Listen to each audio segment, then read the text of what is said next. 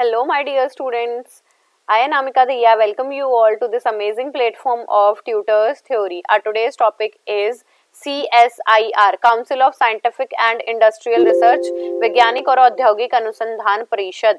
Introduction क्या है? The council of scientific industrial research C S I R is a national wide research platform और network of laboratory and graphical यहाँ पे सबसे बड़ी बात किस चीज़ के बारे में की गई है? आपको जब भी सी का नाम आता होगा, बहुत सारे बच्चे अवेयर भी होंगे, जिनके भाई बहन या वो खुद पीजी या यूजी डिग्री कर चुके हैं या सुना होगा उन्होंने अपने फ्रेंड्स अपने रिलेटिव को करते हुए। तो जो हमारे कोर्सेज हमारे किसके अंडर पढ़ते हैं? साइंस एंड टेक्नोलॉजी के अंडर पढ़ते हैं। उनका जो नेट का एग्ज़ाम होता है, वो भी हमारा कौन कंडक्ट करता है? सीएसआईआर ही कंडक्ट करता है। ये एक प्रोग्राम है जो वेरियस डिसिप्लिन उनके एड्रेस उनके स्पेसिफिक सब्जेक्ट के पीरियड ऑफ़ टाइम या ग्लोबलाइजेशन का बढ़ावा देता है। It is this is a multi disciplinary multi local council was run 39 laboratory eighty field centres and a fundamental applied research के फ़ील्ड में। मैंने कहा आपको कि किन से साइंटिफिक रिसर्च के बारे में ही सी बात करता है।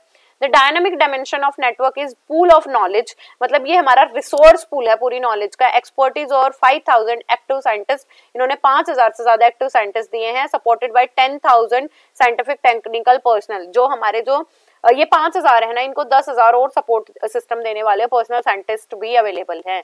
Scientific infrastructure was built over a six decade at the cost of equivalent one billion US dollar at current value छह साल मतलब साठ साल लगे हैं छह डिकेड लगे हैं इसे सी एस आई आर को बढ़ावा देने में और अब तक इनकी जो कोस्टिंग आ चुकी है वो वन बिलियन आ चुकी है, जो यूएस डॉलर में मैं बात कर रही हूँ। फोर साइट क्या है इनकी? कैसी कैपेबिलिटीज जो हमारे नेशन को सर्व कर सकती हैं और उन्हें प्लेटफॉर्म देना है रिसर्च प्रोजेक्ट पे काम करवाना है और उन्हें थैंक्स करना है कि आपने इतना देश के लिए अच्छा काम किया। तो उनके लिए रिवॉर्ड्स की भी बात होती है। It's now work on an annual budget around इनका एनुअल बजट कितना है? Two fifty million dollar and C S I R establish अब सबसे पहली बात है आपको ये याद रखनी है कि कब ये एस्टेब्लिश हुआ था? 1942 में। एक ऑटोनोमस बॉडी है मतलब इनके ऊपर और किसी का रख रखाव नहीं है या किसी के अंडर ये काम नहीं कर रहे हैं। नॉन प्रॉफिटेबल है and with wide ranging charter of function उनके बहुत सारे कार्य भी हैं।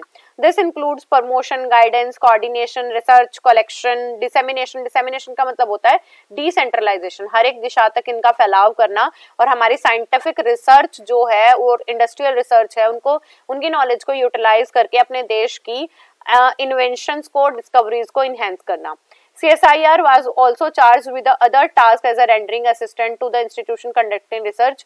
और इनका इनका इनके हाथ में और कौन सा चार्ज है कि जो भी यूनिवर्सिटीज या इंस्टीट्यूशन में रिसर्च कंडक्ट होती है, उनको फेलोशिप और साइंटिफिक जर्नल्स प्रोवाइड करना नर्चर करना, ऐसे बच्चों की नॉलेज को टैलेंट को, जो साइंटिफिक और टेक्नोलॉजी या इनोवेशन की फ़ील्ड में अपना अच्छा कार्य कर रहे इट स्वयं the many organisation many discipline and the most importantly serve as a nursery and training ground for the talented scientist and technology और बहुत सारे संगठनों को, गठनों को इन्होंने जन्म दिया है और ये सबसे मतलब ये लगाओ कि अगर कोई साइंटिस्ट है, अभी उन्होंने जस्ट चलना सीखा in the field of science तो उनके लिए सबसे फाउंडेशन कोर्स यहीं से है। C S I CSIR inherent strength lies in the ability from the spatial interdisciplinary, interlaboratory ऐसे कार्य कराते हैं, जिसके अंदर मतलब interdisciplinary क्या होता है, जब दो या दो से सब्जेक्ट एक से साथ मिलकर कार्य कर रहे हैं और डेवलपमेंट प्रॉब्लम पे बात की गई है। With the objective of developing new tools application और उनकी प्रोग्रेस में उनको एक रोड मैप प्रोवाइड करना है कि उनकी प्रोग्रेस मतलब किसी भी रिसर्च प्रोजेक्ट की प्रोग्रेस के साथ साथ देश का भी, देश की भी बढ़ोतरी होती जाए। देन है providing platform for the research and market infra interface और एक ऐसा प्लेटफॉर्म प्रोवाइड करना जो रिसर्च और मार्केट इंटरफेस के लिए एक ऐसा अच्छा प्लेटफॉर्म मिल जाए इंटरफेस मिल जाए उन्हें। ऑप्टिमाइजेशन जितने भी आपको रिसर्च रिसोर्सेज प्रोवाइडेड हैं हमारे रिसर्च के सेक्टर में, उनका इंडस्ट्रियलाइजेशन करना इंफ्रास्ट्रक्चर को डेवलप करना टेक्नोलॉजी जो हमारे फ्यूचर का बिल्कुल फाउंडेशन है तो टेक्नोलॉजी पे बेसिस रहना। उसके बाद अगर स्ट्रक्चर की बात करूँ, सबसे पहले होते हैं हमारे सोसाइटी के प्रेसिडेंट जो हमारे कौन है? Prime minister vice president president हमारे मिनिस्टर ऑफ़ स्टेट हो सकते हैं governing body Chaudhary D G S I R उसके बाद हमारे पास डायरेक्टर होते हैं डायरेक्टर जनरल उसके साथ एडवाइजरी बोर्ड होती है और यहाँ पे हेड्स होते हैं। लेबोरेटरी लेबोरेटरी में जैसे लेबोरेटरी के साथ साथ परफॉर्मेंस अप्रेजल होता रहता है लेबोरेटरी का और रिसर्च काउंसिल होते हैं और उसके बाद मैनेजमेंट काउंसिल होती है, जो भी हमारी लेबोरेटरीज को कैसे मैनेज करेंगे, उस पर डिपेंड करता है। सर्विसेज़ क्या है? रिसर्च करियर को बढ़ावा देना जूनियर फेलोशिप जेआरएफ प्रोवाइड करना उन बच्चों को जिन्होंने नेट से ऊपर जेआरएफ को क्वालिफाई कर लिया है। अपने कंट्रीब्यूशन को एक्सटेंड करना किसके अंदर? हेल्थ में एरोडायनेमिक्स में जेनेटिक एंड इंजीनियरिंग में एग्रीकल्चर में केमिकल साइंसेज में फ़िज़िकल साइंसेज में। और इलेवन और fourteen new drugs developed independent of India हमारे अगर चौदह ऐसे ड्रग्स बने हैं तो उनमें से ग्यारह जो ड्रग्स हैं, या अमूल फ़ूड डे न्यूटन सॉफ सहेली, ऐसे जो ड्रग्स हैं, वो हमारे किसकी देन है? सी एस आई आर की। नेक्स्ट है no wonder C S I R is recognise as a one of the world largest knowledge enterprises और ये हमारे पूरी विश्व का एक ज्ञान का उद्यम बन चुका है।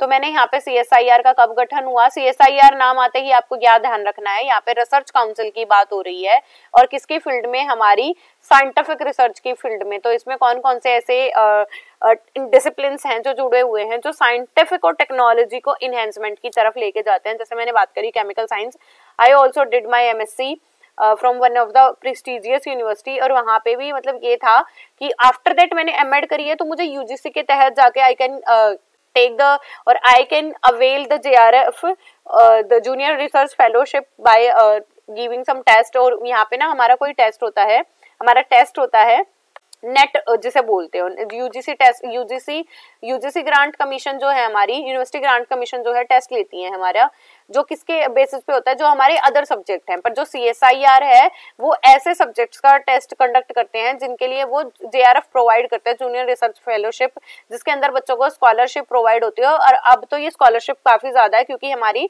जो सोशल साइंस स्ट्रीम्स के बच्चे हैं, उनको भी J R F thirty four thousand से ज़्यादा मिल रहा है। और अगर बच्चे जे आर एफ़ प्रोवाइड करके अपनी पीएचडी को परस्यू कर रहे होते हैं तो उनको भी वहाँ से फेलोशिप दे के अदर कंट्रीज़ में और रिसर्च के लिए भी भेजा जा सकता है और इनका सारा जो पूरा अलायंस है या पूरी पूरी एक्सपेंसेस है, वो हमारा सी एस आई आर ही बियर करता है।